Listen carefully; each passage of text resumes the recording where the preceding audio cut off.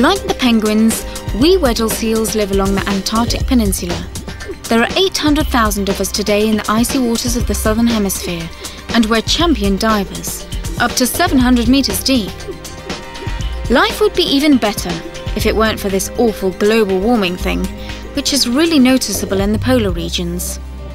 The Antarctic Ocean is heating up, especially at the surface, of course. The entire ecosystem is readjusting, and that's upset the whole food chain.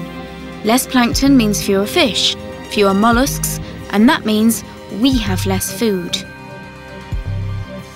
For us, it is more than time. Stuck in a traffic jam? Switch off your engine. Act now.